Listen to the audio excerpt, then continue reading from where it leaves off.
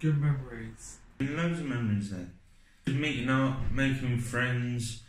You see them at other places, but you can't really catch up otherwise. Yeah, meeting, meeting people, meeting new friends. Yeah. I'm, I'm missing all my friends. I'm missing the staff. Focusing on increasing independence, we very much uh, utilize the talents and skills of other young people that use the group. Um, so, for example, if there is someone who has had a, a placement, um, whether that was paid or voluntary, they deliver sessions that, uh, for the group so they can share their experiences of what the employment is. Um, it's very important for young people to also have that uh, friendship and um, they're able to be in a safe space where they can relate to each other.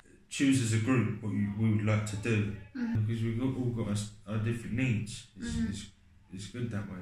We know the demographic, we know the cohort.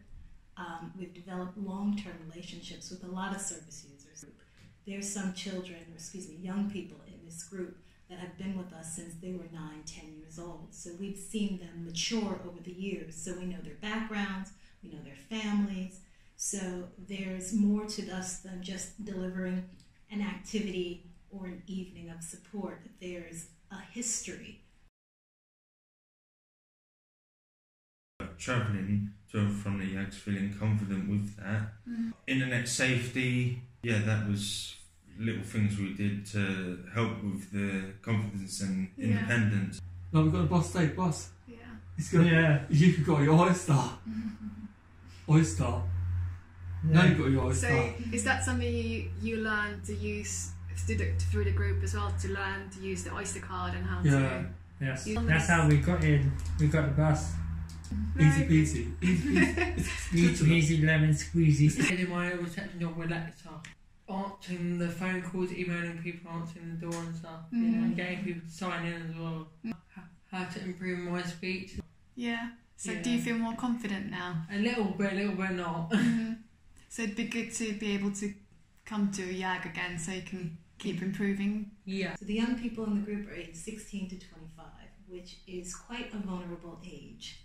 Um, and so within this group, not only are we talking about independence and life skills and staying safe in the community, but we also discuss employment opportunities and employability, look at relationships, socializing, boundaries within that.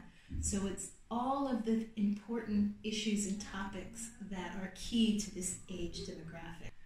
I think for me, as the head of service, is the outcomes. Um, so we had a young person who secured a paid opportunity, which was a very, very um, meaningful and exciting uh, thing for them. And I remember there was a, a celebration within the group. It's knowing all these people for how long I've met them, and uh, I can still meet them in a place that you know that's safe and secure, and it's like everyone's home. The way we approach the work with young people is that we look at the holistic. For example, getting a job is one thing, but making that placement sustainable and successful is another thing. It's brilliant. But you like it. I do. It's Yeah. good. I loved it. And I still do.